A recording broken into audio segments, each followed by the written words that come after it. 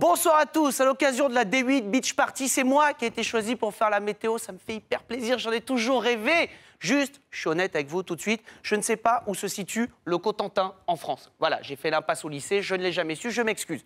Alors, grande question, bien sûr, quel temps fera-t-il demain? Eh ben, je crève l'abcès euh, tout de suite. J'ai des mauvaises nouvelles pour tous les gens qui habitent dans la région nord-est. Ici, voilà, c'est les grands perdants du jour. Voilà, le ciel sera très nuageux euh, le matin. Donc, bon, et le nord-est, on se serre les coudes, hein, le nord-est, on garde la niaque, le nord-est. Petite mauvaise journée à passer, mais ça ira vite. Sinon, dans le sud, beau temps, vous le voyez, et un soleil voilé sur l'Aquitaine. Car oui, parfois le soleil est un petit peu coquet et aime bien sortir avec un petit voile en cachemire, comme ça, ça, fait ressortir ses yeux.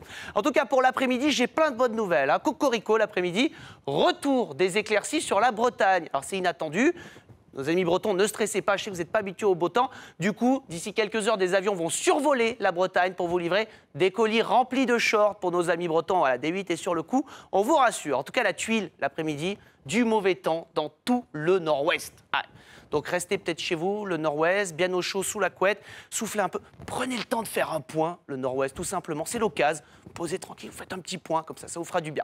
En tous les cas, vous savez tout maintenant déjà sur le temps qu'il fera demain. N'oubliez pas quand même de vous couvrir au soleil hein, pour éviter un coup de soleil, un coup d'amour, un coup de je t'aime, bien sûr. Bonne soirée sur D8.